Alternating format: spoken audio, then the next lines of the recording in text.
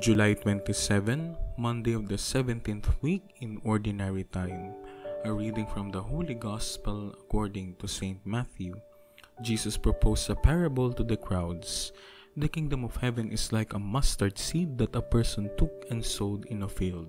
It is the smallest of all the seeds, yet when fully grown, it is the largest of plants.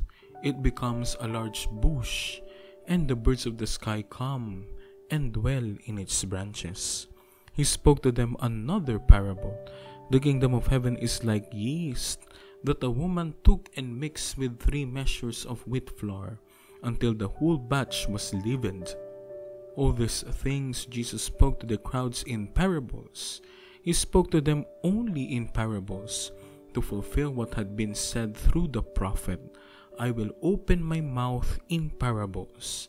I will announce what has lain hidden from the foundation of the world. The Gospel of the Lord. Like a mustard seed, like yeast, Jesus was a master teacher. This is shown in today's two short kingdom parables of the mustard seed and the yeast.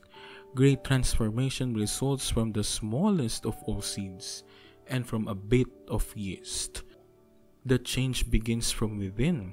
The seed is planted in the ground and the yeast is mixed with the flour. Growth, change, and transformation in our lives as Christians begin with the small seed of faith planted at our baptism. As we cooperate with God's grace, its transforming power and effects are seen. This fact has been verified in church history from a small band of ordinary disciples, the Catholic Church has grown into a worldwide community of 1.6 billion people.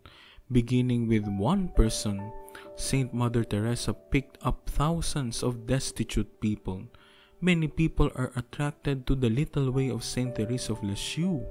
This means seeking holiness of life in the ordinary aspects of everyday existence. This approach puts holiness within the reach of ordinary people like you and me. How can I live Jesus' call to discipleship in the simple daily events of my life?